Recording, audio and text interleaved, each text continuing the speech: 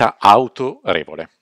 Questo è in qualche modo collegato al tema sopra. Quello che sto per dirti ora, scommetto, mi gioco tutte e due le braccia, che è una cosa che è capitata anche a te.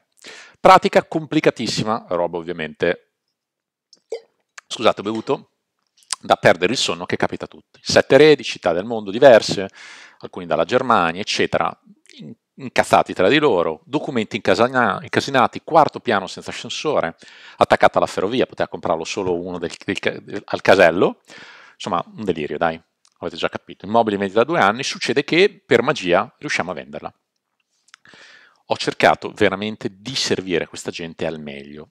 Siccome dovevamo prendere un aereo e alcuni venivano dalla Germania, ho guardato i documenti per filo e per segno cento volte, sono stato lì fino alle 11 di sera, perché insomma volevo avere la tranquillità che arrivassero, prendessero un aereo e insomma non si tornasse a casa perché c'era qualcosa che non tornava.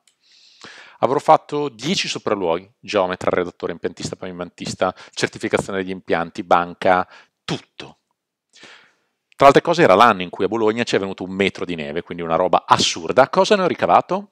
Alla fine di tutto mi hanno trattato a pesci in faccia, come se fossi uno schiavo o un venditore da strapazzo dove era tutto dovuto. Avevano sempre meglio da fare vo- ogni volta che dovevo mandare il mio documento.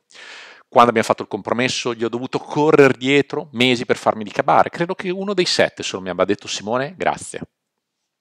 E nonostante tutti questi sforzi non avevano alcun rispetto per me. Ma, oltre danno alla beffa, non avevo ancora visto niente. Quando si sono trovati davanti al notaio sono diventati irriconoscibili. Sembrava che avessero di fronte ai loro occhi una figura soprannaturale, lo veneravano, mostravano veramente qualcosa al limite dell'imbarazzante e in cuor mio me lo diceva, ma questo non aveva fatto niente per, per, aiutarli, si limitava sì a controllare i documenti, leggere velocemente qualche pagina e mettere un paio di firme, ma il lavoro sporco l'avevo fatto io, ma sembrava realmente non importare assolutamente a nessuno. Ditemi ragazzi se è una cosa che capita solo a me, ok? O è una cosa comunque che è capitata anche a voi. Ok? No, mi fa piacere perché tante volte mi dico queste sono situazioni che sei sfortunato. Ok? Per cui siete d'accordo con me che non c'è nessuna percezione di, di, valore nei nostri confronti e invece in confronto di altre persone che hanno quel titolo cambia tutto. Ok? L'illustrissimo signor notaio per loro era un dio ed erano disposti a pagare cifre esorbitanti in cambio di nulla. Altre cose dove hanno dovuto fare una consulenza per una divisione ed sono stati anche felici e onorati di staccare l'assegno. Ai miei occhi era una cosa terribile e giurai a me stesso che avrei scoperto il motivo dietro questo comportamento. Da allora sono passati anni che ho trascorso a studiare, analizzare questo meccanismo mentale, scoprendo il potere dell'autorità. Tutto quello che ruota intorno a, quelle, a quella percezione, quella venerazione è il potere dell'autorità, ragazzi. Quello è stato uno dei momenti in cui mi sono guardato allo specchio e mi sono detto che doveva cambiare qualcosa, che avrei studiato, che ci sarei comunque arrivato in fondo ad ogni costo. E quello che ho scoperto è che nulla è più importante del potere di poter prescrivere un'azione alle persone e questo ha a che fare col concetto dell'autorità. Ve lo spiego con un esempio molto semplice per farvi capire la potenza di questo concetto. Facciamo finta che tu oggi stia male, ok? Senti di avere la febbre, stai sudando e senti una fitta al cuore, ok? A questo punto salti in auto a tutta velocità ed entri in un piccolo ospedale, una piccola clinica un po' vecchiotto, un po' fatiscente in provincia della tua città. Facciamo finta che sia questa. Entri dal medico, del pronto soccorso, di questo piccolo ospedale immerso nella debbia, ti visita tre minuti, ti guarda e ti dice guardi signor Bianchi, lei ha un grosso problema, si è chiusa un'arteria. Ora andiamo subito qui di dietro, tenga questo strofinaccio, tenga in bocca per stringere i denti del dolore, io prenderò un bisturi, arriverò alla vena e cercherò di sistemarla. Quale sarebbe la tua reazione? Aspetti un attimo, vorrei pensarci su, vorrei aspettare un secondo parere, eccetera, eccetera, eccetera. Ora, non corresti subito a farti operare, ma immagina un altro scenario. Tu ti senti male, senti la febbre, hai una fitta al cuore e invece però che in quella clinica fatiscente ti portino in Svizzera, in una clinica all'avanguardia, specializzata, famosa, specializzata su patologie del cuore, ok? Si sono operati, vedi nella bacheca le foto di Nelson Mandela, Trump, Obama e Ronaldo, il calciatore, e lì ti accoglie e ti visita il più grande cardiochirurgo al mondo, che guardandolo bene lo riconosci perché l'hai visto anche in tv ospite del TG5. Arriva, ti visita e ti dice guardi la vena è chiusa al 90%, dobbiamo andare in sala operatoria e dobbiamo operare entro un'ora da adesso. Ecco qui cosa cambia, che 9 persone su 10 darebbero subito l'ok. Cosa fa la differenza? L'autorità, ragazzi. Tu non sai se effettivamente questo medico è migliore di quell'altro, lo desumi, perché in una clinica svizzera questo medico è stato in tv, in quell'ospedale ci sono andate superstar, eccetera, e se pensi questo, se la percezione che hai è quella, lui ha il potere di prescriverti un'azione, non di darti consigli, di dire cosa fare. Ora vado su un tema molto caldo che so che farà male a qualcuno. Partiamo da questa domanda. Qual è la persona, il soggetto che è percepito nella scala, nella piramide sociale a livello più basso? Parlo di business, eccetera. Purtroppo sì, il venditore. Ed è il motivo per cui noi non dobbiamo essere recepiti come venditori. La prima cosa che dico quando le persone vengono in, mm, in sessione privata da me, in ufficio, corsisti, coaching, eccetera, è di non parlare, di non agire, di non essere percepito come l'ennesimo venditore che ti parla in termini di chiudere un contratto, negoziare, transazione, sopralluogo. Le persone ormai sanno riconoscere un venditore e le allontanano in maniera automatica. Hai presente quando entri in un negozio di scarpe, appena entri, brum, ti assale la commessa e ti dice ha bisogno? Qual è la risposta del 99% delle persone? Cosa risponderesti tu? No, do solo un'occhiata, bruciata la vendita. E questa è una cosa inconscia, ragazzi, fa parte del nostro cervello primordiale, si chiama cervello rettiliano. Non farò certamente un webinar su questa roba qui, ma è un qualcosa di automatico. Vai sulla disensiva, ok? Non puoi decidere questa roba qui. È così. È quello che nel corso dei milioni di anni di evoluzione ha fatto sì che noi, quando percepivamo un, un pericolo, eh, X migliaia di anni fa da una tigre dentasciabola o di un altro di un'altra tribù, ci metteva sull'allerta per scappare il prima possibile e salvarci. Questo è. Questo ti brucia l'affare. Quali sono i tratti allora dei venditori che alzano le barriere ai clienti? Guardiamoli velocemente. Script anni 70 pronunciati con un sorriso falso e talmente innaturali una, e totalmente innaturali in una conversazione? Le brochure di vendita, ragazzi. Ok? Bruciale. Vi do un consiglio. Avete già fatto più uno da questo webinar. Brucia tutte le brochure la possibilità di essere reperibili 24 ore al giorno sul cellulare ed essere facilmente accessibili, ascoltatemi un concetto altamente controintuitivo. Più facilmente siete accessibili, più mostrate la smania di incontrare il cliente, più è probabile che creerete l'effetto opposto. Perché darete la percezione di non avere uno straccio di cliente che il cliente traduce in disperazione. E questo ti mette in una situazione, in uno status che è nettamente inferiore rispetto a quello del tuo prospect, del tuo cliente che deve vendere, quindi in una posizione di svantaggio. Altra cosa che fanno i venditori è che si presentano a casa della persona e non sanno nulla di lui. Tutte le presentazioni sono uguali, sorriso finto, soliti argomenti sul meteo, il tempo, i cani, i gatti e, e andiamo a fare schifo a quella presentazione, perché la verità è quella e l'ho fatta anche per tanti anni, quindi non mi nascondo. Le autorità professionali non fanno, non hanno questa roba qui. Più è l'aspetto del venditore, più si riduce a zero la tua autorità, questo bisogna che te lo ricordi. La gente non si fida dei venditori, la gente non si affida ai venditori. Ok? Questo è il primo passo su cosa non fare. Spesso mi chiedono, ma come mai? Come hai fatto a fare 113 transazioni nel 2020, avere una società di formazione con centinaia di studenti e fare 3-4 viaggi all'anno? Ve lo spiego velocemente. Ti, ti svelo come svolgo il mio lavoro e inoltre te lo svelo nel dettaglio come ho fatto appunto in questi anni a fare questo numero di incarichi e di transazione. Allora, parto dal presupposto, il 100% degli incarichi presi e le persone con cui ho avuto a che fare come clienti facevano già parte del mio mondo, possiamo chiamarlo del mio ecosistema. Che significa questo? Potrebbe essere un lettore di qualcosa che io pubblico in costanza offline, oppure attraverso dei contenuti online specifici per il mio target che ho creato in questi anni. Questa per esempio è la rivista che noi facciamo, piuttosto che delle pubblicità carine, ok? Oppure sono stato invitato a, a, fare delle ospitate, delle interviste da persone abbastanza conosciute. Io ho fatto questa intervista con Gatti, io non so quante centinaia di migliaia di euro mi ha dato perché ovviamente lui ha una community con un target di investitori immobiliari, quindi per me era perfetto. Oppure magari anche qualche personaggio famoso, questa la conoscete tutti.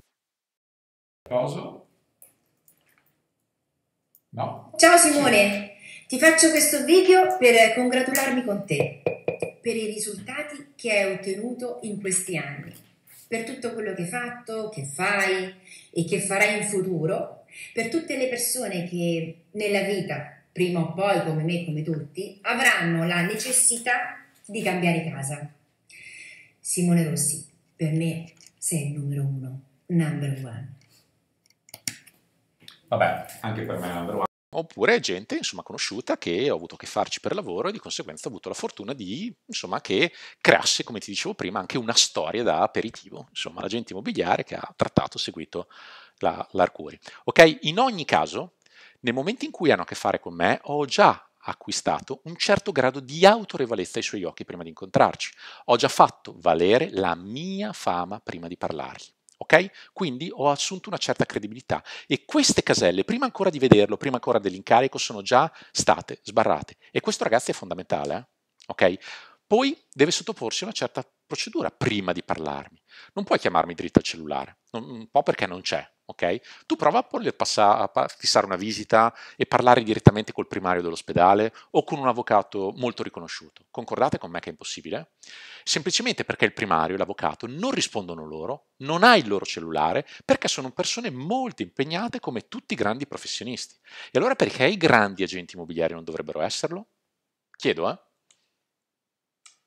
Devi successivamente passare attraverso un processo studiato perfettamente. Devi lasciarmi i tuoi dati, le caratteristiche della casa e infine la mia assistente vede da tutta questa roba qui, le chiamate, le mail che arrivano, ci dà un'occhiata e mi dice guarda Simone, penso che ne valga la pena chiamarlo. A quel punto io prendo il mio bel telefono, la contatto o lo contatto e quando la chiamo gli farò una serie di domande. Sono molto approfondite e per capire se so in cuor mio di posso aiutarlo o no. Okay? Non fate l'errore di prendere della roba che sapete già che non riuscite ad arrivarci in fondo.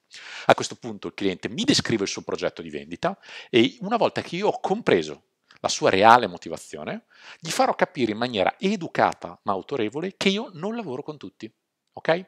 Per cui un concetto di esclusività. Se sì, in base a quello che mi ha raccontato, prima dell'appuntamento invio una relazione a casa per posta cartacea, dove c'è valutazione della casa e c'è la, le case vendute di vicino, mm, c'è l'incarico precompilato, la mediazione, c'è tutto, ok? E la regola è che bisogna che lo leggi prima che venga da te. Quindi la regola è che ci sono delle regole e il cliente deve superare questo ostacolo, ok? E quello che avete potuto vedere in 12 secondi è che le regole normali di tutti gli agenti immobiliari, della maggior parte degli agenti immobiliari, vengono totalmente invertite. Ora, il 99% degli agenti immobiliari, ad eccezione dei miei studenti, cosa farebbero alla prima chiamata? Appena chiama il cliente, boom, correrebbero da lui, ok? Con l'istinto di chiudere l'incarico. Io non faccio così, ok? Perché ho visto che è meglio non fare così, non perché sia pazzo. Io non ho fatto 113 transazioni facendo come fanno tutti. Io non ho fatto dei mesi da più di 100.000 euro perché così facevano tutti, ok? La mia autorità e la mia capacità di prescrivere un'azione il giorno che poi vado da lui, sono cresciute con tutti i passaggi che ti ho brevemente riassunto. Se avessi potuto, voluto far decidere a lui, parlo del cliente, come avrebbe preferito agire? Non avrebbe voluto lasciarmi i suoi dati, ma parlare direttamente al cellulare con me, ma non l'ha potuto fare. Si sarebbe aspettato che io corressi da lui per fare questo affare, ma non l'ho fatto. Avrebbe voluto di racconta- evitare di raccontarmi in un'intervista al telefono le varie cose, ma l'ha fatto. Non avrebbe voluto leggere obbligatoriamente il pacchetto informativo, ma l'ha fatto. Ma ogni gradino, ragazzi, ascoltatemi bene, che gli ho imposto di fare per accedere a me e ai miei servizi ha fatto aumentare la mia autorità. Tutto questo che ti ho raccontato è possibile per il fatto che quelle caselle sono già state barrate e questa è in parte la strategia per diventare autorevole. Quando sarai poi a casa sua finalmente, lì non hai concorrenti, ok? Non ce l'hai la forza, il cliente ti vede in modo e maniera che tu hai la possibilità di prescrivere la, la, la, la soluzione che è conferita l'incarico. Ok? Vi do un'indicazione, il tasso di conversione tra presentazione che faccio e incarico è l'85%, quel 15% ci sarà un 5% che sto sulle palle e non fa niente, per l'amor del cielo, ma un altro 10% sono quei pochi clienti con cui io non voglio lavorare. Questo mi permette di farti pagare le commissioni piene, parlo a me, anche ai miei studenti, senza dover concedere tutto il cliente, stare lì a subire un sacco di... Insomma, le sapete questa roba qui, ok? Spiegare la correttezza dei miei consigli con risposte meditate o sentire il secondo me, ok? La percezione è che lui ha catturato la preda, questo è nella testa del cliente, la preda sei tu, per la prima volta sei tu, il miglior agente della città e che ha portato a casa il migliore investimento per vendere la sua casa, che è il miglior agente immobiliare. Ok? La maggior parte degli agenti non capiscono questo aspetto, però oggi possiamo cambiare il modo di fare le cose e di lavorare come un grande professionista. Ti chiedo una cortesia, prendi carta e penna e scriviti questa cosa che è importantissima. Il dilettante fa proposte e offre scelte ai clienti. Il professionista fissa delle regole e prescrive azioni, ragazzi. Importantissimo. Prescrive azioni senza incontrare resistenza. Ora, quello che ti ho raccontato in questo punto potrebbe far paura a molti mm, e magari si dicono, giustamente, eh? ah ma tu sei Simone Rossi, per te è più facile, tu sei nato per tutto questo, bla bla bla. Allora, ora dimmi tu se sono nato per tutto questo. 10 settembre 2013, questa è da Monte dei Paschi, quindi stiamo parlando di un po' di anni fa, ok? Sem- semplicemente mi chiedi di rientrare dal filo. Ed è per settembre 2013 eh, il momento in cui ho dovuto ai tempi affrontare una cruda realtà. Perché al 13 settembre 2013 io dall'inizio dell'anno avevo fatto la bellezza di zero transazioni, ma soprattutto avevo bruciato 90.000 euro di cassa aziendale. E ogni mattina, ogni giorno, quando mi alzavo, sentivo nello stomaco, avete presente i pugni di Hulk, quelli che sono qui nell'immagine, quelle verdi giocattolo, che ruotavano nello stomaco H24, 7 giorni su 7 uno di quei periodi che non mi dimenticherò mai, che prima o poi tutti ci passiamo che non va bene nelle cose private, nelle cose lavorative, eccetera. E sono quei periodi che veramente sei totalmente a terra. Quello è il vecchio ufficio dove è successo quella situazione lì, qua sono io qualche anno dopo a vederlo. Io quei due gradini lì davanti, ora c'è un comproro, me li ricordo molto bene, perché lì la sera, quando chiudevo la serranda, mi mettevo a sedere perché avevo paura di tornare a casa. In realtà non era la paura di tornare a casa, ma la paura di tornare a casa e che mi facessero una domanda specifica. Come è andata oggi? Non ero solo, non c'era solo il mio destino in ballo e c'è stato un giorno in cui veramente quel 13 settembre ho toccato il fondo, o meglio, sono stato costretto a fare, a fare click. Ed è stato in quel momento che ho letto una frase molto importante che a me ha impattato tanto. Quando il perché è forte, il come non è mai un problema. Stava nascendo la mia seconda bimba, questo sfrugolotto qui, ok? E se uno è un genitore sa benissimo che non c'è niente di più importante, motivazionale di capire e sapere di poter dare un futuro ai tuoi figli. E lì mi sono un po' rimboccato le maniche, ho fatto cose che non avrei mai fatto, ok? E se mi avessero detto in quel preciso momento che la mia carriera avrebbe avuto un incremento di quel tipo, avrei firmato con ogni goccia di sangue possibile. La mia evoluzione come agente immobiliare è stata la seguente. Nel 2014 ho fatto 90.000 euro di fatturato, nel 2016 205.000, nel 2020 653.000 euro. Qualche riconoscimento, primo agente, insomma. Quindi ragazzi, il sunto di, che, di tutto questo è che io non sono un illuminato del cielo, sono passato con 60 centesimi alle superiori. Quindi però prima di diventare Simone Rossi, quel click di cui vi ho parlato è che ho cominciato a ragionare come Simone Rossi, ho capito che si poteva fare migliorare le cose andando a prendere le informazioni da chi le aveva già prese e che aveva già ottenuto i risultati che volevo ottenere io, per diventare sempre più forte, essere più veloce rispetto agli altri, la concorrenza. E questa roba era un'informazione che qui io non, non, non, non trovavo facilmente, quindi sono dovuto andare in tempo in USA, Canada, Portogallo e andando anche a spazzare in settori che non sono propriamente il nostro, ma che sono molto più avanzati del nostro. E sapete qual è l'errore? l'errore? Che se poter, potessi tornare indietro pagherei oro per non commettere? Per tanti anni ho sempre pensato che dietro una persona di successo ci fosse stata una bugia, qualcosa di falso, che non fosse vero il suo successo. E facendo poi, sono andato anche dallo psicologo, così ve lo dico tutti, ok? Sapete perché avevo quella presunzione lì? Perché non si ammette a se stessi di avere di fronte qualcuno che sta ottenendo risultati migliori di noi. Chi ha informazioni maggiori, chi ha informazioni migliori rispetto alle nostre, ha un vantaggio competitivo. Il mio grande rimpianto è che se avessi cominciato non nel 2013 a formarmi in maniera seria, ma dal 1999, quando sono entrato in punta di tacco nel settore immobiliare, oggi avrei accumulato 10 volte tanto. Comprare informazioni da chi ha quelle giuste è il miglior modo per non bruciare una risorsa che nessuno ti dà indietro e che, una volta passata, ti fa vivere di rimpianti, che è il tuo tempo. Studiando gli atteggiamenti dei migliori agenti al mondo, che ho avuto il piacere di conoscere, okay, l'1% degli agenti aveva il 90% del mercato della loro città. E questi avevano un pattern in comune, investivano tanto tempo, tante risorse in formazione. Da quel punto ho cominciato anch'io, questa è una mentorship da 10.000 euro l'ora, questa è un'altra consulenza, l'ho fatta anche a febbraio recentemente, da 3.500 euro l'ora, in quattro anni, ragazzi, ho investito qualcosa come 200.000 euro in formazione. E il primo semestre di quel famoso 2013 l'ho fatto con un pochino, ok? Anche se non navigavo nell'oro, come hai potuto ampiamente constatare. Per non sprecare il tuo tempo prezioso di questo webinar su questo punto, e immagino che abbiate capito tutto, ora entriamo in un altro argomento molto hot, ma ricapitoliamo al volo. Abbiamo visto che nulla è più importante del potere di prescrivere un'azione e questa ha a che fare con il concetto dell'autorità. Non dobbiamo essere catalogati come venditori, sarebbe un errore. La gente non si fida dei venditori e non si affida ai venditori. Essere facilmente accessibili H24 7 su 7 dà la percezione di disperazione. Acquisire informazioni verificate non da fuffaguru, da chi ha già ottenuto i risultati che vogliamo è il miglior investimento su noi stessi.